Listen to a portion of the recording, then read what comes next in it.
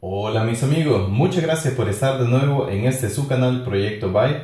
En este video les mostraré la forma de cómo modificar la contraseña de Windows 10 en el caso de olvido de la contraseña de su ordenador. Ojo, este procedimiento es únicamente para efectuar en ordenadores de su propiedad, ya que hacerlo en ordenadores ajenos es un delito. Dicho lo dicho, vamos con la intro. Están viendo lo mejor de la red, porque esto es Proyecto Byte. Bueno, para desarrollar este tema tenemos este Windows 10 con tres cuentas. La cuenta de Spielberg, que es una cuenta estándar con contraseña. También tenemos la contraseña de Obama, que es una cuenta administrador con contraseña. Y por último tenemos la cuenta de César Zúñiga con un login que se hace a través de un correo electrónico que tiene PIN y contraseña.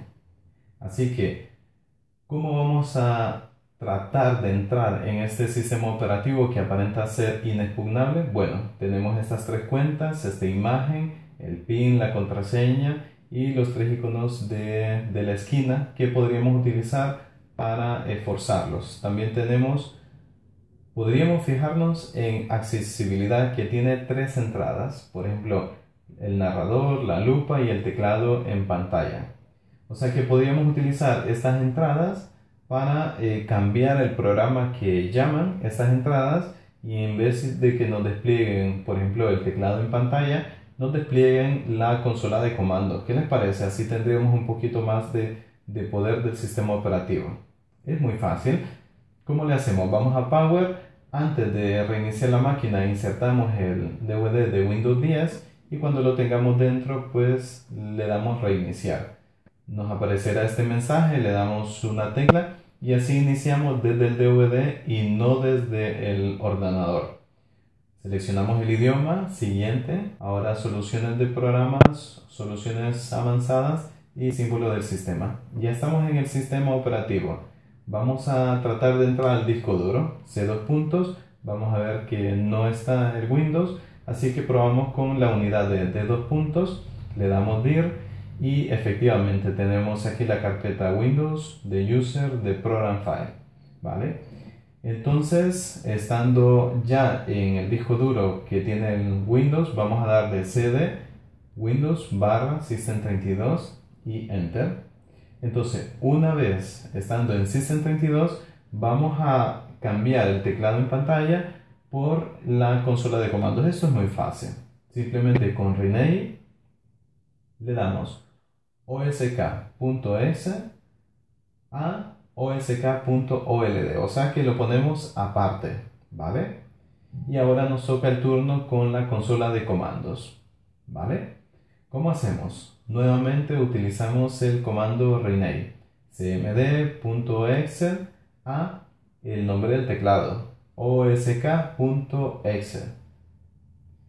Y así de fácil amigos, ya hemos hecho un pequeño hack en Windows 10. Así que cerramos, apagamos, volvemos a encender el ordenador, no tocamos nada para que iniciemos desde el disco duro y nuevamente estamos ahora en la pantalla de login, ¿vale? Entonces vamos a accesibilidad, teclado en pantalla, ya no nos sale el teclado en pantalla, sino la consola de comandos. O sea que ya hemos violado la seguridad de Windows 10. Así de fácil amigos. Ahora vamos a modificar las contraseñas. Vamos a darle el comando netuser que nos visualiza las cuentas. Tenemos eh, la cuenta de César, de Obama y de Spielberg. ¿Vale? Entonces vamos a modificar, por ejemplo, la cuenta de Obama. ¿Cómo se hace? NetUser, Obama, más la contraseña. Espacio, la contraseña. Muy bien. Entonces le dimos la contraseña, vamos a probarlo. Cuatro ceros. Y vamos a ver si entra, crucemos los dedos. Y efectivamente, voilà, ya estamos dentro de nuestro sistema operativo con una cuenta de administrador. Ahora vamos a cerrar sesión. Vamos a darle clic derecho al botón de Windows, apagar, cerrar sesión. Ahora vamos a cambiar la cuenta de Spielberg. Vamos a ver, con 4 8 intentamos, vemos que es inválida Vamos a la consola de comandos y vamos a hacer de nuevo NetUser. Visualizamos las cuentas. Vamos a ver la de Spielberg. Y vamos a darle NetUser Spielberg más la contraseña. Y vamos a dar 4 8, ¿vale? Entonces el comando se ha completado correctamente. Vamos a la cuenta Spielberg, le damos los 4 8 y le damos al, al ojito para ver que, que sea cierto. Y voilà, ya estamos dentro de nuestro sistema operativo. Así que vamos a volver a cerrar sesión y vamos a ver qué pasa con la cuenta que ha sido iniciada con un correo electrónico. Ya les digo desde ahora que este método no funciona en esta cuenta. Vamos a ver cómo reacciona y, y qué pasa. Vamos, vamos a la consola de comandos a través de la pantalla y le damos Net User. Vamos a ver que la cuenta se llama César. Vamos a darle NetUser César y la contraseña.